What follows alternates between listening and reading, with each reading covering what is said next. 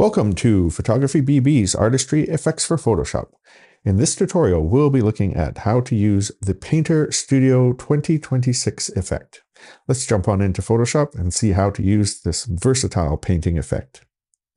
This effect comes in three orientations. We have open here a landscape orientation file, and this effect also includes a square orientation and a portrait orientation as well. So right now we're looking at the horizontal orientation, and to get your image into the template to run the effect, all we have to do in the layers palette right here is just double click on the top layer thumbnail right here, not on the text of the layer, but right on the thumbnail to open up a smart object. So here's our smart object, and all we're going to do is go to the menu File, Place Embedded, and choose the photo that you would like to work with. For this effect, I'm going to use this photo right here. And we select the photo and just click Place. That will bring the photo into the template. Now, as you can see, for this particular photo that I'm working with, it doesn't fill the landscape uh, orientation template.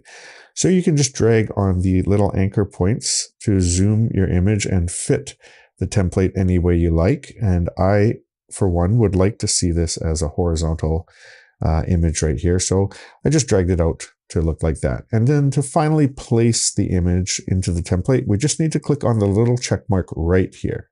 And that places the image. Now to run the effect, it's very easy. All we're going to do is close up this smart object layer and click save. So we're going to click the little X right here to close the smart object and we're going to click save and Photoshop will do the rest for us.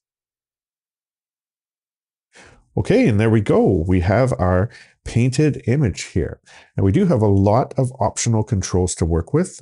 So let's go through the layers palette right here and we'll see all of the different things we can do to customize this.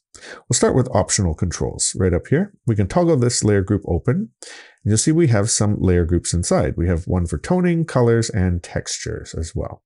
So if we open up toning, we have some options to darken the image, brighten the image, add vibrance, or add contrast.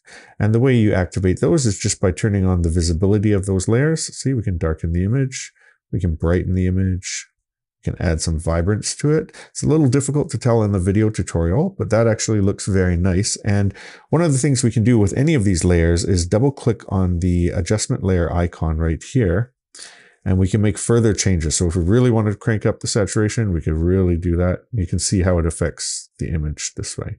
Actually, I like it with a lot of saturation for this image. So let's go with that. It gives it more of a painted look in my opinion. So we'll keep that one on. And of course we can add contrast, turn that on and off, and we can play with those as well. But I'll keep it like that for now. So I'll close up the toning layer group right here and we'll go into the colors layer group.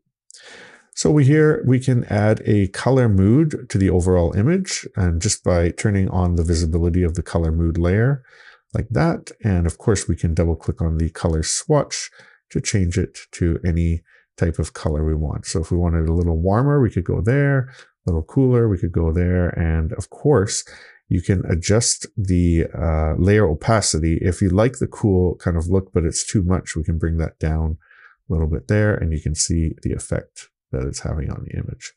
I'm going to leave it as the default without that color mood on. Uh, we also have a black and white uh, layer here. So some painted images look wonderful in black and white. You can click that to toggle that on and off and see how you like that effect as well. And then we have some sort of special color toning layers right here, 10 different uh, color toning layers, and you can turn them on and off to see how they affect your image. That one's pretty good, actually, number two. So we'll close up the color uh, layer subgroup here. And next we have the textures folder and we'll toggle that open.